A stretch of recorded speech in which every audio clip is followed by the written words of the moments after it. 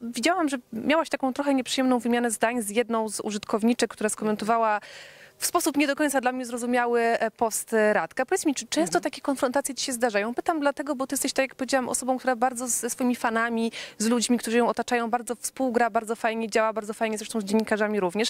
E, Często ci się zdarza jeszcze taki, wiesz, y, hejt, który nie jest może do końca hejtem, jest takim podszczypywaniem. Ja nie do końca rozumiem, ale pytam ciebie. E, Zdarza mi się to tylko wirtualnie i b- najczęściej e, są to konta, które po prostu nie istnieją albo są martwe, więc nie wiem, kto się za tym e, ukrywa.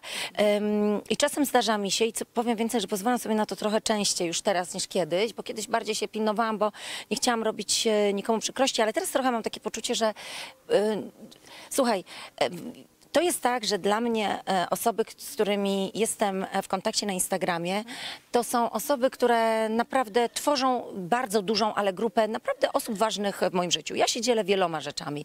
I tak jak się dzielę rzeczami z, e, nie wiem, sesji zdjęciowych czy z nagrań programów, tak samo, no jeżeli twój mąż ląduje w karetce, powiem ci, ja się strasznie przestraszyłam, to to jest taki odruch, to jest tak jakbyś wysłała koleżance SMS-a, że wiesz, coś się dzieje.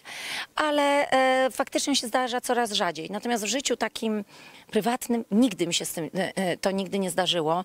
Ja spotykam się z taką serdecznością ludzi, ja tak lubię ludzi, ja dlatego też lubię tego typu inicjatywy, lubię też te programy, w których mogę z ludźmi być, bo ludzie są fajni, naprawdę. I, i, i ja czerpię od nich energię i tak się razem nakręcamy do działania i, i, bardzo mi się to podoba. Już wiem, że teraz powstaną kolejne warsztaty mm, we wrześniu, planujemy też warsztaty nad morzem, e, za granicą, dlatego że trochę jest, żyjemy teraz w takich czasach, kiedy boimy się marnować czasu.